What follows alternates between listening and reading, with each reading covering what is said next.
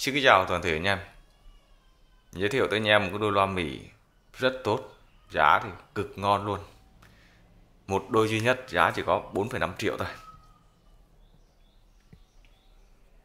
Đây anh em này Tên của nó là, là Nó có cái ờ, logo hình con chim ha.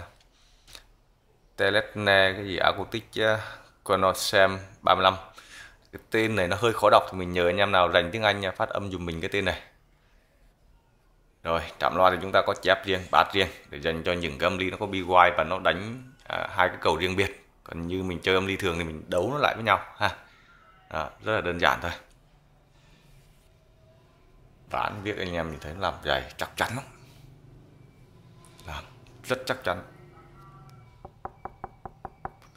Thùng nó làm dày bê nó nặng lắm.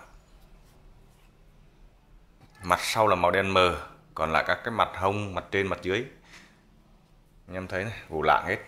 Và những cái góc này được bo nhẹ nhẹ, nhìn rất đẹp. Gù lạng, màu vàng cánh dán. Còn rất là chỉnh chu, rất là đẹp, sắc cạnh. Đây là cái chấp đôm của nó, ha. Chấp này là chấp đôm. Rồi, cái mít. Bát đường kính 20 phân nhưng tất cả còn tuyệt vời hết.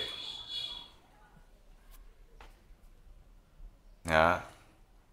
giá chỉ có 4,5 triệu thôi một đôi duy nhất. Và kích thước thùng loa của nó thì là 27 chiều ngang còn chiều cao là 60 nha nhỏ gọn thôi không có quá lớn. Vừa vừa. Đây là con uh, âm ly builder SA 710 à, con này thì giá mình xin uh, thanh lý gửi tới anh em mà. 4,5 triệu thôi. Đó. Mặt phê nhôm vỏ của các thứ rất hợp với đôi loa. Giá mềm. Rồi. Để anh em ờ, có âm ly rồi thì anh em cũng mua đôi loa về để chơi còn nếu chưa có thì anh em mua cả bộ. Đâu đó nó mới vào khoảng 9 triệu cho cả hai món. Anh em có nhu cầu alo mình nha. Xin chào. Hẹn gặp lại.